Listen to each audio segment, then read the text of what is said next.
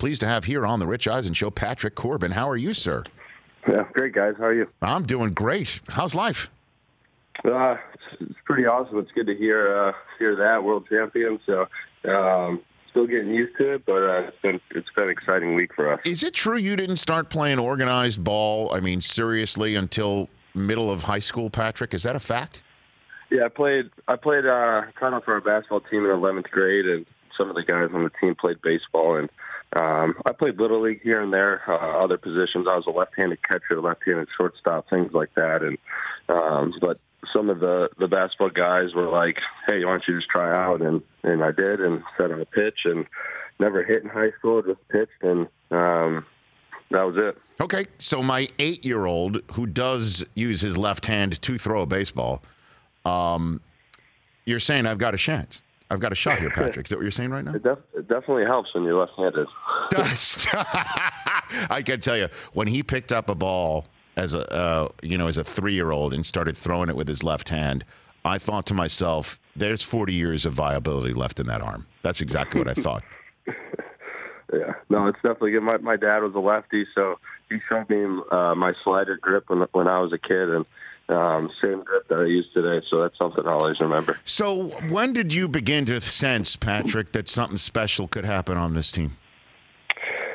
Um, we had a little stretch there where at the beginning of the season where things weren't going our way. We, we weren't playing good baseball. We had we had a lot of injuries.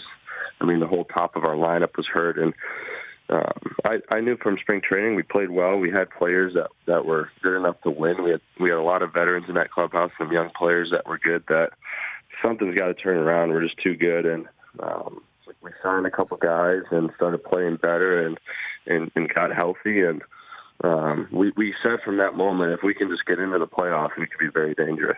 So there wasn't really one moment or one stretch in a season where you started looking around and saying, "Okay, we're we have a, we're arriving right now." Yeah, yeah. Well, I mean, I think after that that start where we were 1931, uh, we we played the best baseball in the MLB. So um, there was a stretch in there where, where we felt things were changing. Um, we knew our goal was to, to get a couple games over 500 around the All Star break, and uh, we we felt the momentum after that, and kind of just rolled with it. Patrick, I gave you two chances for you to say the words "baby shark" and you didn't. I gave you two uh, shots right there. with Parra, I mean, I, I played with Parra in Arizona. I mean, he was obviously a huge uh, piece for us to loosen things up, bring some some energy in the dugout, and um, he was he was for sure a, a huge piece for us. Um, he came in when we did have injuries. He stepped right in, played played center field for us, um, hit really well, and um, just brought the energy. what was the reaction though the first time? Did everyone know that he was going to have "Baby Shark" played as his walk up song when he switched to that? Was that aware? Was that already your your clubhouse already aware of that? Um, no, we had no idea until the first time it went on. I think one of his kids loved the song, and I mean every kid does, I guess. Sure. But they were just like, let's roll with it. So they started playing it, and then you just see the reaction of the fans, and um, they're all doing it, and then it just kind of built up after that. And I think people are just coming in games to see him pinch hit late. I know, I, I, I know, but there was no sense in the in the dugout like as he came back in after that at bat saying, "What the hell was that?" Nothing. We were laughing probably for sure. I okay. mean, it, it definitely caught on really quick though. Even after the first one, it was like, "What was this?" And fans got into it right away, and then it was pretty neat in the postseason when when you saw a packed stadium, everyone doing it. Nationals pitcher, Game Seven winner Patrick Corbin here on the Rich Eisen Show. Okay, so you're out there in the pen, Game Seven. When did you get a sense you might be in this uh, in that baseball game? Yeah, well, we um, we knew Max um, was coming off that neck and, and back injury, and, and we weren't really sure what what he was going to be able to do. So I just tried to stay loose loose the whole time, and I thought whenever he was done, maybe I'd have a chance to come in and. He got through five innings, got some trouble, and pitched out of it, and kept us in the game. And um, they called down and, and told me I was in, and I had no idea if it was going to be one batter, a couple, or end up going three innings. So you're you you stroll in, here it is in the middle of uh, after bottom five. You stroll in and you're you're taking the mound, top six down two nothing in Houston. People going crazy. This they're they're sensing the moment. What are you thinking? Um, I guess it's a big moment, but I, I I try not thinking about that. You just try to go out there, try to be prepared, focus on your job, and I think I'll look back and see how, how cool that was to, to pitch in a game seven. But honestly felt pretty good. I mean, the whole that whole month we were in big situations like that. Um, played in some big stadiums where, where fans were loud, and getting going nuts. So um, we just felt like if, if we could just if I could just throw up zeros there, um, keep us in the game. Our offense been doing it all year, putting up runs late. Right, and then you stroll out there, bottom seven. Now, now, now you got a lead. I mean, talk about a, a, a switch. You're down. Your your team's down to the last eight outs, and now suddenly it's up to you to start making sure that the Astros' last nine outs go quickly. Um, walk me through that mindset as as Kendrick put one off the foul pole.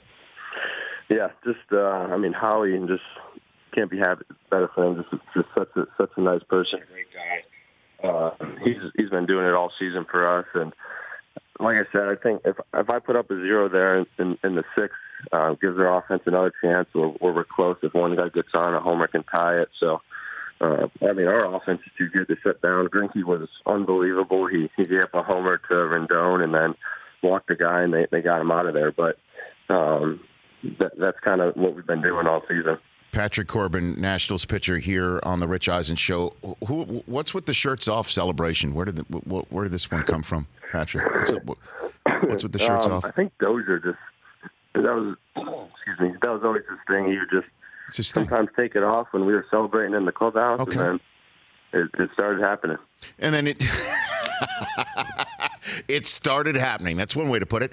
And then he did it. Zamboni thing you guys are saying? Yeah, well, I mean, I noticed he did it uh, after the parade, uh, you know, yeah. at the podium. Uh, and then he said that his wife was going to kill him. yeah, he hasn't been too happy with that. but- yeah, and then and then the sweaters, if you will, come off uh, on the ice on the Zamboni uh, with the caps. Um, were you one of those guys on the Zamboni? Yes. so there were six of us on there. I was one, Mm-hmm. and we were we were told strictly to keep our seat there's seatbelts on that thing, even though it's moving really slow. Mm-hmm. And they said we couldn't stand up, so we obviously had some drinks uh, earlier. You could see that from some videos, and we had the trophy with us, and we were just Yeah. like, "What the heck?" But I guess they're going to kick us off.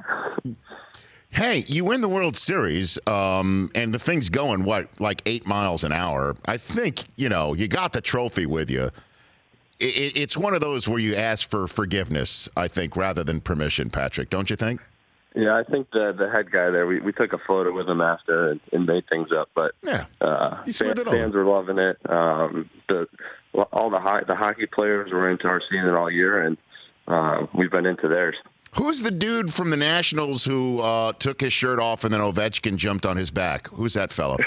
oh, Ali, he's our uh, he's our uh, BP thrower. So um, it's kind of a little celebration that we do, and uh, um, that was pretty cool to see Ovechkin do that. You know, no offense to Ali, but he took his shirt off and he still had a sweater on. I think, Patrick.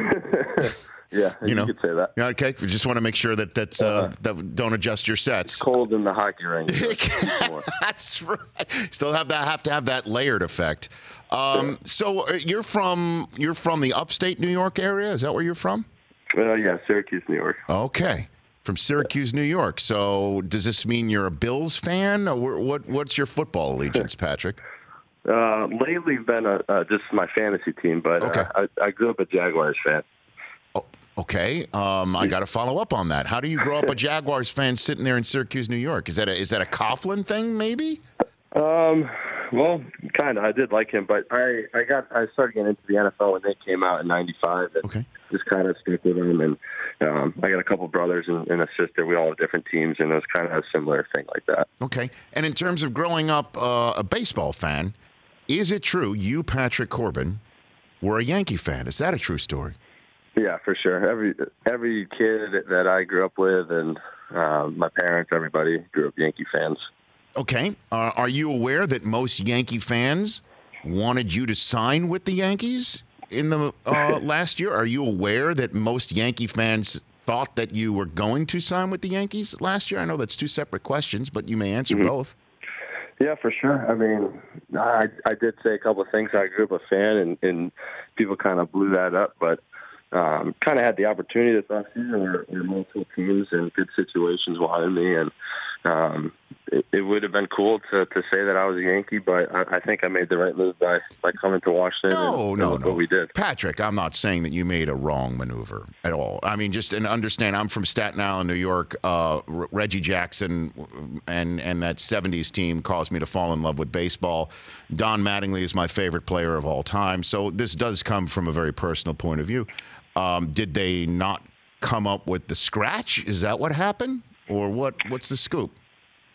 Um, there they were like dialogue between um, other teams, and they were kind of a little bit off. And um, like I said, uh, we we we wanted to to go somewhere where um, we felt felt comfortable in a team that was going to win. And obviously, New York would have done that, and and Washington was another place, and um, they they were a little off from from some of those teams, and um, I mean that's kind of what it is. That's kind of what it is. And now you're shirtless on a Zamboni lifting a trophy. I understand. That's the way life works sometimes, huh?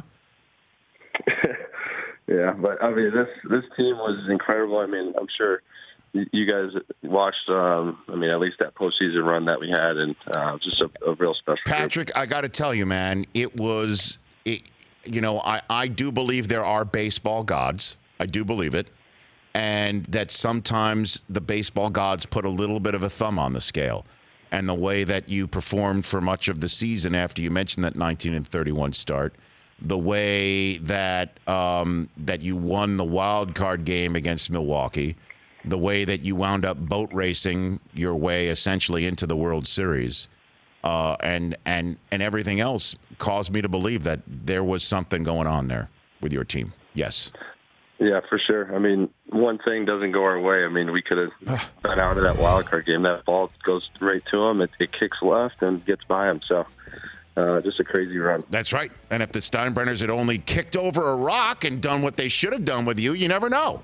But that's just me. Easy, buddy. I'm sorry. Easy. I'm sorry. I'm sorry.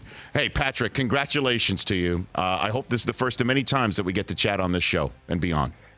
All right, thanks, guys. Yeah, I appreciate it. Right back at you. That's Patrick Corbin. For more of The Rich Eisen Show, tune to Audience Channel 239 on DirecTV for free on BR Live or download the Rich Eisen Show app.